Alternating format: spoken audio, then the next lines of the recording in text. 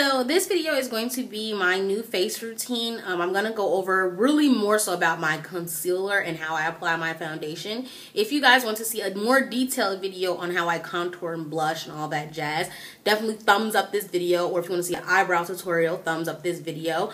Um, also, I did record this makeup look, but I didn't put it up. So if you do want to see this makeup look, definitely go ahead and thumbs up this video also.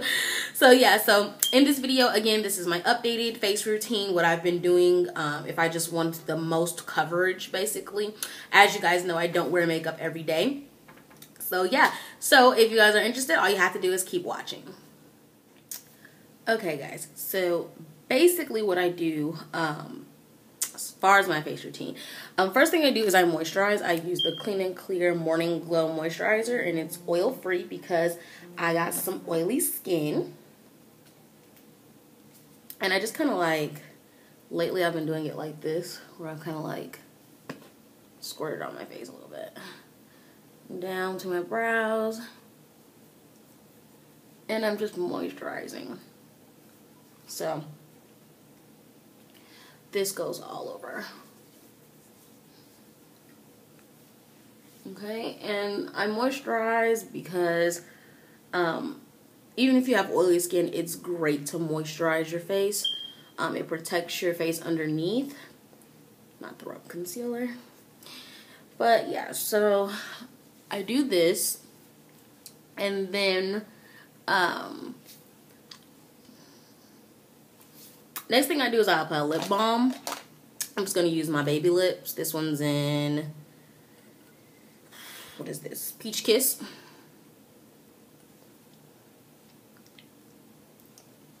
Just so by the time that I get to doing my lipstick, my lips are already moisturized.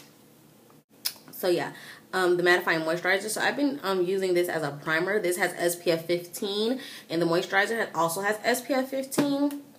But um, I'm using this because it does definitely matte out my face. I don't use this actually as a moisturizer because um, I kind of don't like it as a moisturizer. But I've been using it as a primer just these past um, couple of days and I've been liking it. And I'll discuss a little bit more about this um, in my next video because um, this is a part of my haul video that I'm doing. So, yeah. So I just applied into um, five areas, um, the most oiliest places. And then I just go ahead and rub that in. I have pores. Like my pores are the biggest here, here, right, and here. Then I have like a few there. But yeah, so just doing that. And this is where I get the oiliest also. So it definitely helps control the shininess that I get. Okay, you don't need a lot of this though, because if you apply too much, it will leave you looking a little ashy that is something I noticed. So now that that's all on, the next thing I do is I do um, it. This part actually alter it changes depending on how I'm feeling. Um, either I'll do concealer first and then foundation, or foundation then concealer. Today I'm just gonna go ahead and go straight into foundation using my CoverGirl Queen Collection soft copper and I actually need to go and get more of this because I'm like really running out. So putting on the back of my hand, I'm going to use um, the e.l.f. powder brush. It's really not a powder brush. I don't know why they call it this, but this is what I've been using. I alternate between this and the Beauty Blender depending on what's going on with me, but I'm just going to use this today.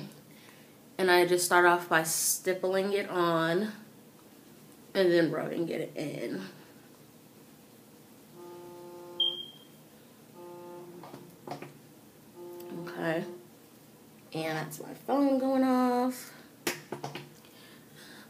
But yeah, and then just rubbing it in. And then I just work in sections. That hasn't changed. Just working in sections. And um, so I usually start here and then I move over and then up. So stippling it on first. And then buffing it out.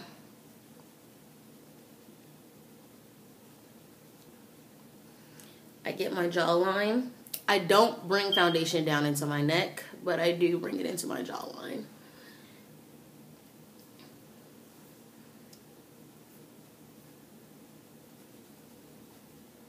Okay, and I like this brush because it definitely gives like a seamless finish. So like I could probably like apply like a streak and blend it and you won't even see a seam in it. And that's why I really like this brush because it definitely blends out really good.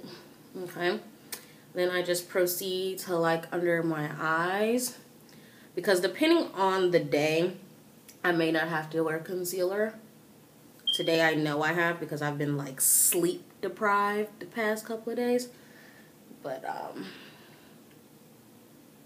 right under the eye.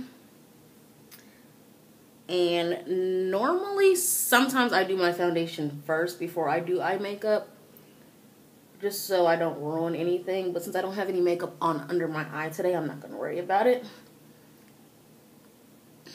And I'm just going to do the forehead. I don't apply a lot to the forehead um, because I don't actually have to. My forehead is pretty good, but I do apply it because I do use concealer um, around my brows. And then I just take the edge of the brush and blend out right above that. And then I just break it into the hairline like that. Okay. And bust it into the hairline yeah, then the next thing I do is I move on to concealer. I kind of really don't need concealer today, but I'm to do it for you guys because this is an updated thing. Um, one thing I've started to use under my eyes is my Urban Decay Primer Potion. I do this because it helps. I have a lot of really small, fine lines under my eye, and I've found since I've been using this under the eye, I have like got no creasing at all. I have not seen a crease under my eyes since I started doing this. Um, and then I just kind of like take it, I look up, and then I just pat it in just like you would on your eyelid. And I just get it right under the eye because that's really where I need it. And it's going to leave like a, a ashy look. It's going to, because it's a primer. It's like the same primer you use for your eyelid. So, but since I've been doing this, I'm telling you, I haven't got any creasing under the eye whatsoever. Between that and the NYC uh, skin finish that I used to set with, no creases, you guys. No creases. And I just look up and I pat it in with my finger like that. Then I'm using my 10 color uh, camouflage palette from BH Cosmetics.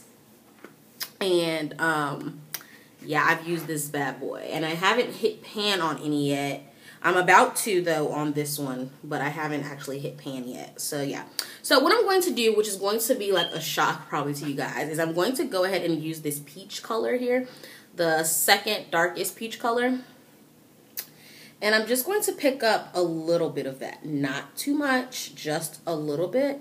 I'm just going to pick it up. What I do is like I pick it up and then like I tap it just to make sure I only get a little bit and then I'm taking a very little bit of this and I'm only going to apply this in the areas where it is the darkest. Right in these little little pockets. I'm just going to pop that right in that pocket. And applying a peach corrector is going to basically take out the darkness. So when I put my actual concealer over it, you'll see no darkness or nothing. It'll just be like one tone. So you see the difference? Can you see that difference? How that peach corrector tones out that darkness by so much. And then I'm just patting it in really good. And you see that difference? Pretty amazing, right? So that's like a little tip that you guys can remember for women of color. Even for like lighter skins, use, you know, you can use any of these correctors. Um, they also have green correctors for like blue under eyes and things like that. So look at the correctors because they definitely do work. I never noticed what these are for until, um, I think her name is Creative Diva. I totally took this under eye thing from her. I definitely did. So yeah. And then I just kind of like bring it on the side of my nose a little bit to kind of start off my contouring. Okay. And then I go ahead into my normal color, which is this one mixed with just a tidbit of that. I'm not going to use my MAC because for some reason I'm not liking the MAC recently. For some reason, I don't know what it is, but I'm just like not liking my MAC concealer anymore. And I'm not sure if that has anything, if it really has anything to do with anything.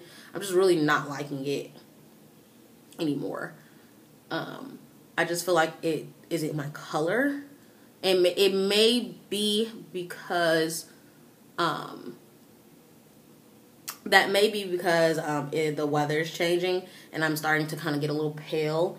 So that may be it, but I just haven't been liking it. So I've been using the BH Cosmetics palette. And then so I'm just going to go ahead and pat, pat, pat, pat, pat, pat, pat, pat.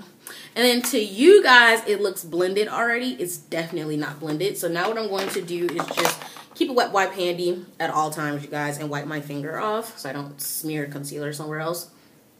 I'm going to take the Beauty Blender. Love this. I'm going to spray it with a little bit of Fix Plus. This is a mini one that I got from MAC, and this will also be in a haul video. Alright. And I'm just going to blend out those harsh lines that I made and just blend it all together. This is why I like the Beauty Blender because it's going to just blend the two concealers together and it's going to make it really, really nice. So going ahead and doing that just to make sure I didn't create any lines or anything. So, yeah. So that's that. Then um, at this point, what I would do is I'll go ahead and proceed to contouring and um, all that jazz. The contour that I use is the Ebony Bronze CoverGirl. Oh no, before I do that actually is I set my under eye. I use the NYC Smooth Skin um, Loose Face Powder in Naturally Beige. And you don't need a lot of this. You you don't. You don't need a lot of this. If you use too much, you will know.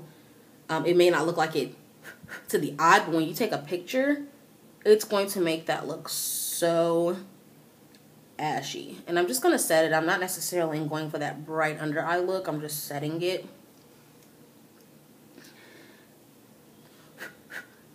And you use very minimal product. I love this stuff. It's like two bucks at Walmart. So yeah, do that. And then I go ahead and I contour.